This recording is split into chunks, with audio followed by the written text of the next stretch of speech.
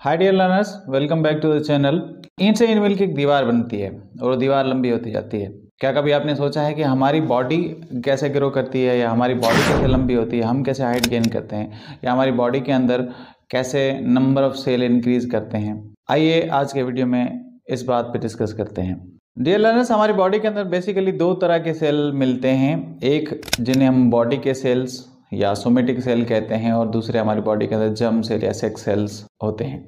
हमारी बॉडी के अंदर ये नंबर ऑफ़ सेल इंक्रीज होते हैं सेल्स डिवाइड होते हैं, एक सेल मल्टीप्लाई होता है, दो में, फिर दो मल्टीप्लाई होते हैं, चार में, और इस तरह नंबर ऑफ़ सेल इंक्रीज होते रहते हैं और हम ग्रो करते रहते हैं, हम हाइट गेन करते रहते हैं, हमारी बॉडी के पार्ट्स ग्रो करते रहते हैं। सेल साइकिल का आज हम दूसरा फ़ेज़ पढ़ने जा रहे हैं। पहला फ़ेज़ हम पहले पढ़ चुके हैं, जिसको हम इंटरफेस कहते हैं। एक सेल एक पेरेंट सेल या जो सेल डिवाइड होता है, जिसे हम पेरेंट सेल कहते हैं, वो डिवाइड होने के बाद जब न्यूली बॉर्न सेल या नए सेल में डिवाइड होता है तो वो डिफरेंट फेजेस में गुजरते हैं। पहला मरला, जिसमें वो बड़े होंगे ग्रो होंगे मैच्योर होंगे, उनके अंदर वो तमाम प्रोटीन सिंथेसाइज होंगे, जिन्हें हम इंटरफेस कहते हैं। इंटरफेस पे मेरे चैनल पे वीडियो अवेलेबल है। आप जाएँ, वहाँ पर देखें, उनके तमाम फेजेस के बारे में जानें। लिंक अवेलेबल है यहाँ आपके सामने।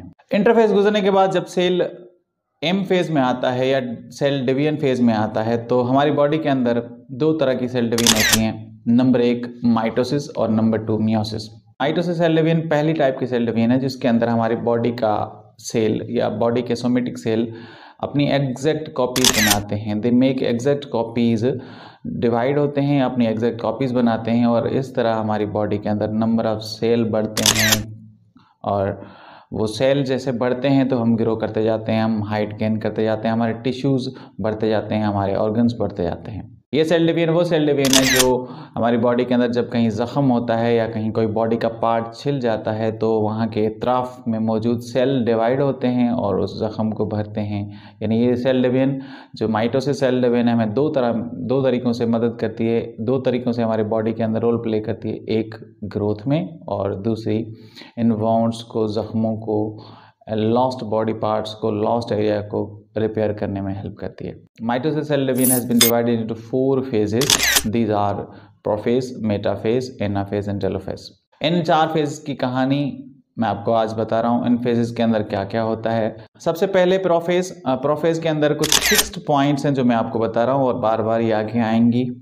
और एक ही बार बता रहा हूँ नोट कर लीजिएगा ताकि आगे जब भी प्रोफेज मियोसिस में आए या जो भी आगे दोबारा कहीं प्रोफेज आए तो ये पॉइंट्स आपके जहन में होने चाहिए। सबसे पहले प्रोफेज में क्या होता है? आमतौर पे जब हम सेल को देखते हैं तो हमें न्यूक्लियर मटेरियल या क्रोमेटिन मटेरियल हमें दिखाई नहीं देता इनविजिबल होता है। प्रोफेज के दौरान ये क्रोमेटिन मटेरियल जो कि क्लस्टर की फॉर्म में पड़ा हुआ है, गुच्छे की तरह पड़ा हुआ है, उलझा हुआ पड़ा हुआ है, ये लाइनअप ये क्रोमेटिन मटेरियल लाइनअप होना शुरू हो जाता है, इनके क्रोमोजोम्स होना शुरू हो जाते हैं प्रोफेस के पहले मरले में। जब क्रोमेटिन मटेरियल लाइनअप हो जाता है स्ट्रेटन हो जाता है या क्रोमोजोम्स अपने पेयर के साथ जुड़ के सीधे हो जाते हैं तो हम उन्हें क्रोमोजोम्स कहते हैं। उसके बाद इसी फ़ेज़ के अंदर सेल के अंदर मौजूद न्यूक्लियस अपनी साइज़ ग्रो करता है, अपनी साइज़ बढ़ाता है। ये साइज़ इसीलिए बढ़ाता है ताकि जब क्रोमोजोम्स ट्रैवल करें, जब सेल डिवाइड और क्रोमोजोम्स ट्रैवल करेंगे तो इनको जगह मिल सके। एक्स्ट्रा जगह इनको चाहिए ट्रैवल करने के लिए तो इसलिए न्यूक्लियस जो है अपनी साइज़ इनलाज करता है, अपनी साइज़ बड़ी करता है, बड़ा होता न्यूक्लियर मेम्ब्रेन बड़ी होती है और उसके बाद आहिस्ता आहिस्ता बड़ी होने के बाद गुम हो जाती है डिसअपेयर हो जाती है। इसी फ़ेज़ में साइटोप्लाज्म के अंदर मौजूद जो एक ऑग्नेली होती है, जिसे हम सेंट्रोसोम कहते हैं, ये बेसिक ये हमारे सेल के अंदर पेयर में पड़े होते हैं। एक सेंट्रोसोम सेल के एक एंड पे चला जाता है और दूसरा सेंट्रोसोम सेल के दूसरे एंड अपोजिट पोल पे चला जाता है। उसके बाद इसी फ़ेज़ में ये स्पाइंडल फाइबर्स या धागे बनाना शुरू करते हैं, जो कि इन क्रोमोजोम को ट्रैवल करने में हेल्प करेंगे। यहाँ तक प्रोफेज ख़त्म हो जाता है। प्रोफेज ख़त्म होने के बाद दूसरा जो फ़ेज़ स्टार्ट होता है, जिसे हम मेटाफेज कहते हैं। इस मेटाफेज के अंदर ये धागे जाकर उन क्रोमोजोम्स के बीच में डॉट लाइक स्ट्रक्चर जिसे हम सेंट्रोमेर कहते हैं, उनके साथ जाकर अटैच होती हैं। इंसान के अंदर, यानी जो इंसान के अंदर क्रोमोजोम्स होते हैं, वो टोटल 46 होते हैं। ये 46 अपने एग्जैक्ट कॉपीज़ बना चुके हैं। कहाँ पे? मैंने आपको पहले बताया था सेल साइकिल के इंटरफेज में। इस फ़ेज़ के दौरान इन्होंने अपनी कॉपीज़ सिस्टर क्रोमेटिड्स बना ली थी। और उसके बाद अपोजिट पोल पे पड़े हुए सेंट्रोमेर इन अलग अलग क्रोमेटिन फाइबर्स के साथ अटैच होंगे और उनको खींचना शुरू करेंगे।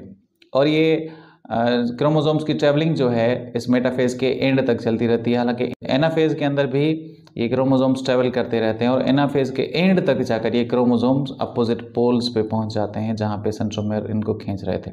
इस तरह एनाफेज के एंड तक ये क्रोमेटिन फाइबर्स जो हैं अपोजिट पोल पे पहुँच चुके होते हैं और इनके इर्द गिर्द नए क्रोमोसोम्स की वॉल या न्यूक्लियर मेम्ब्रेन अपियर होना शुरू होती है, बनना शुरू होती है और इस तरह एक सेल के अंदर दो न्यूक्लियस बन जाते हैं, यानी न्यूक्लियस डिवाइड हो जाता है दो न्यूक्लियस में, जिसे इस न्यूक्लियस की डिवीज़न को हम कार्योकाइनेसिस कहते हैं। The word kino karyokinesis means division of nucleus karyo means the word karyon means nucleus and kinesis means division so this is the division this is the splitting of nucleus into two nuclei into two nucleus then the cytoplasmic organelles also make their photocopies and travel to each opposite poles and at the end of telophase the cell membrane moves towards the inner ends and that's how cell divides into two new exact copies which are called daughter cells तो ये कहानी थी